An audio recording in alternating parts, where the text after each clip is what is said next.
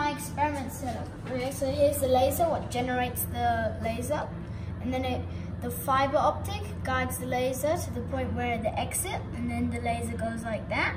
And then it comes to the collimation lens, what makes it parallel, and then the focus lens focuses to one point where this has the highest amount of energy to burn the point through.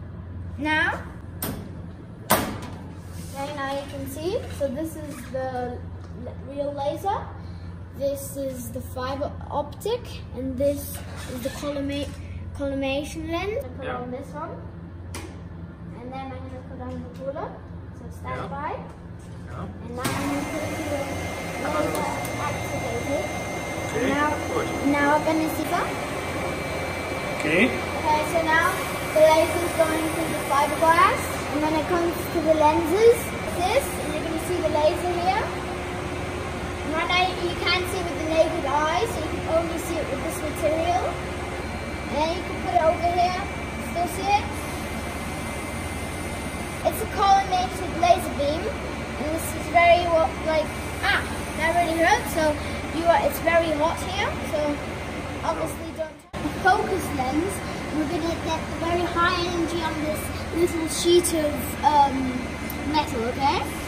And now when, when I'm going to turn on the laser, then I'm going to put it closer and further, and then it will make holes in it and start melting it, okay? Then I'm going to do that, okay? Now Okay. turn on the laser. So I'm going to start off by here, Okay. and there's nothing happening. Laser's on. Yeah, and now if I put it closer, now you can see that the there's a small little that's starting to melt in that small position. Now you have to wait a little bit. Now, now you see that it's going through.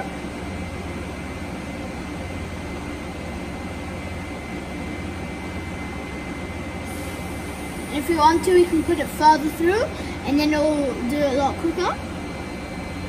Now I'm gonna move it so it goes, it's gonna go, go. And now we're gonna burn it through it, so we're gonna cut it. We're starting to melt it, as you can see. And it's taking quite a long time. Now if we keep it like that for a few seconds, Now it gives more power. now we're gonna give more power, okay? Now we're gonna burn through. Now as you can see, we did a really big hole through there. Now I'm gonna move this a little bit.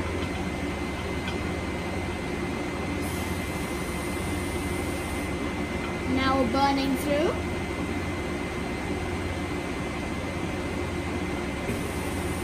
It's like welding now. Now, now I'm gonna put it le- least power, now you can see we did a lot of stuff.